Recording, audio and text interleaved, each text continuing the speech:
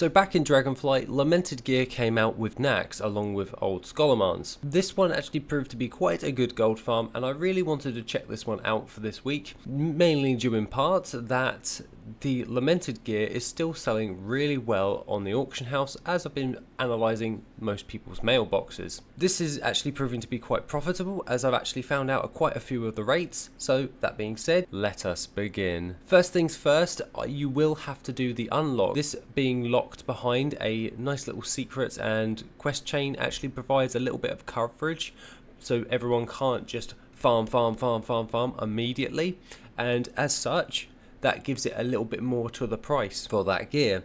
Now, judging by this, you will have to do a few prerequisites, and I actually found Mr. GM's video on it to be quite handy, which I've left in the description, which mean which will require you to use a toy within the regular Scholomance. And thank you, Callan, because I did not have the toy. That actually saved me a hell of a lot of time because you will have to farm that one up. What we're mainly discussing at this moment in time is the corrupted Scourge Stones and the Invaders Scourge Stones.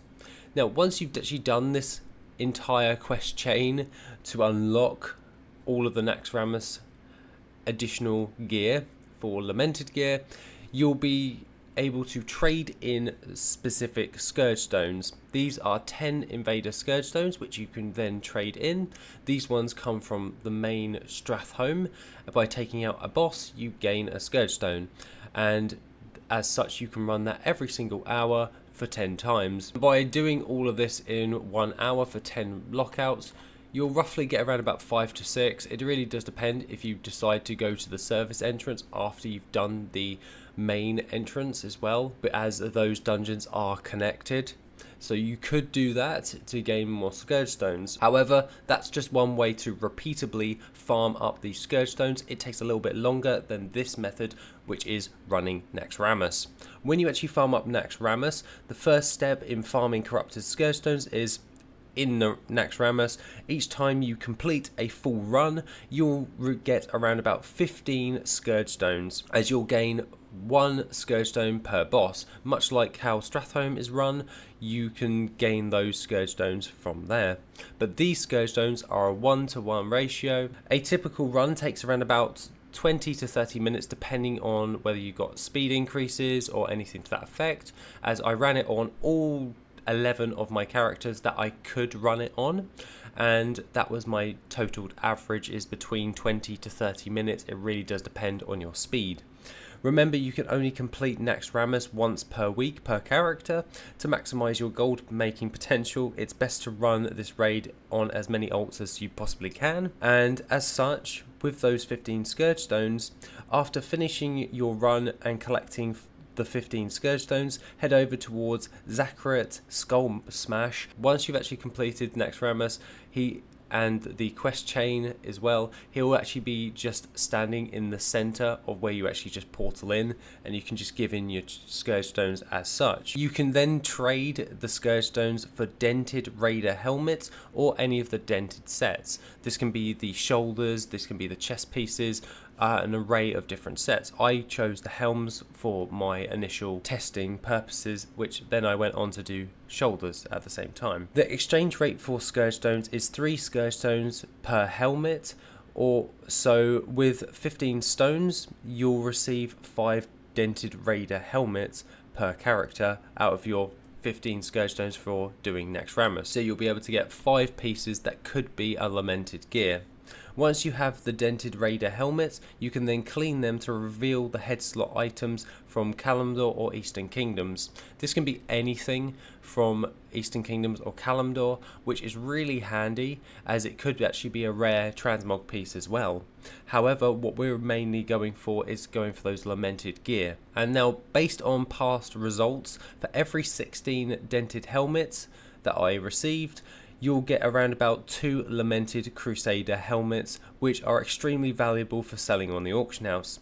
The lamented Crusader helmets can fetch a high price on the auction house.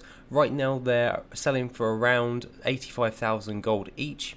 So if you get two lamented helmets from your 16 dented helmets, that's a potential profit of 170,000 gold. So now let's just break this down into a gold per hour notion.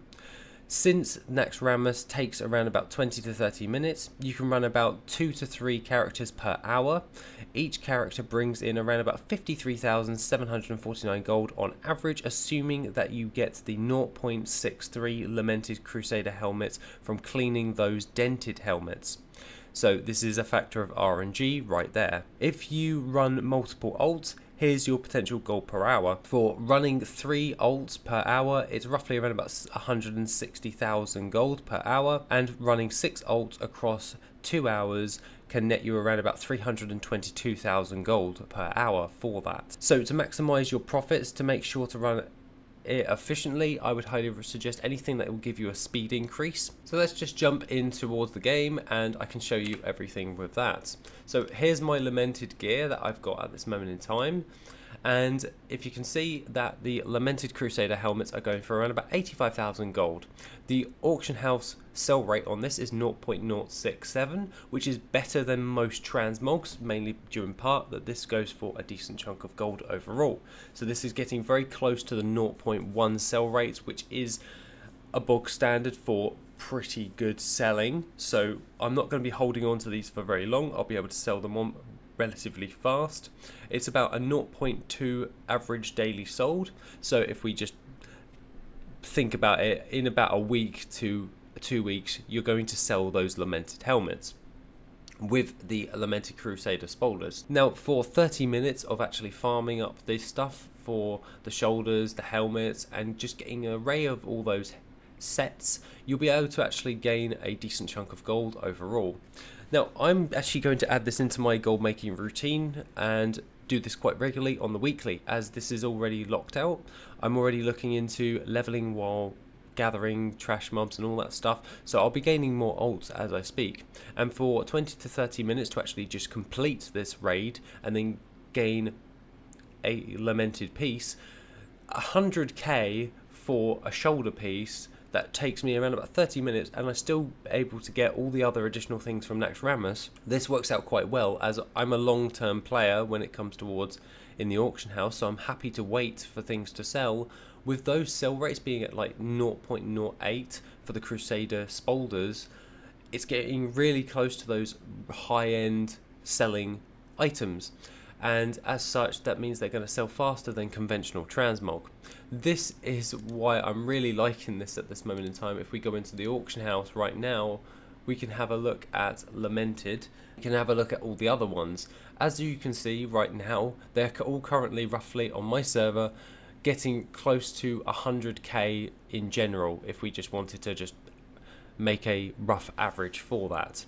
Now 100k for a piece and by running a couple of alts per hour to 2 to 3 alts per hour depending on their speed I'll be able to actually get a couple of Crusader helmets which is very very close for that gold per hour rate of 160,000 gold per hour.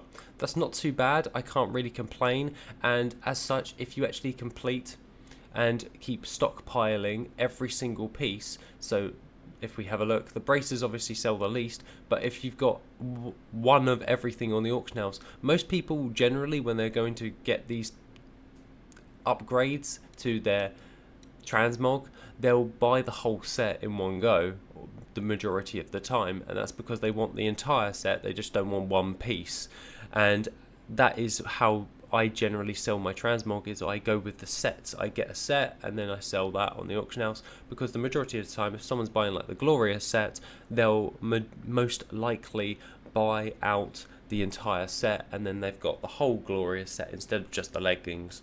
It just makes sense in that sense. And it's never failed me in that in overall. And also, as a side note, it actually does space things out so that you've got one of every item and then just keep stacking on top of that. So you've got two of every item three of every item and then using that on the weekly basis with your alts for only a few uh, 20 to 30 minutes it works out quite nicely for generating regular gold.